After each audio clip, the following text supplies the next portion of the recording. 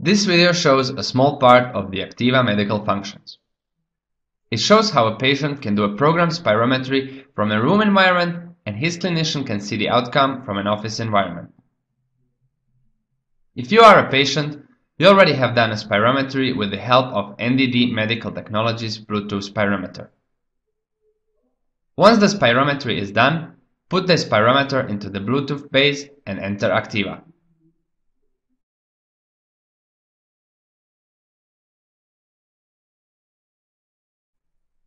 Once in Activa, go to the calendar.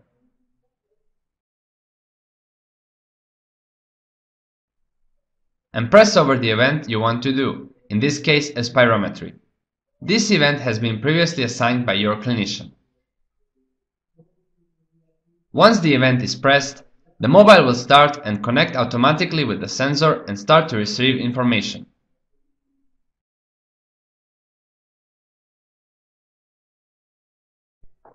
When the transmission finishes, the outcome will be shown on the screen.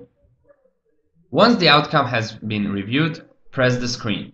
You will see a small automatic analysis of the outcome and the outcome will be sent to the server. You can see the outcomes of previously done measurements by pressing over the related events.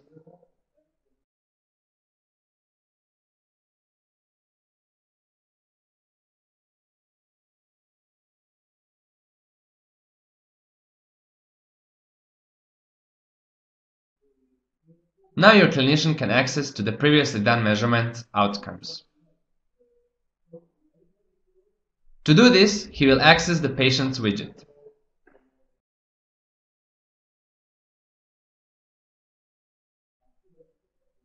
From there, he will select your name from the patient list.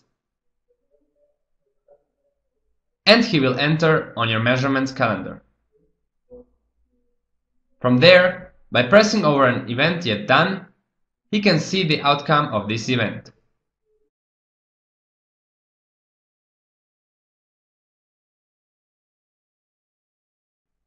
Thank you for your time.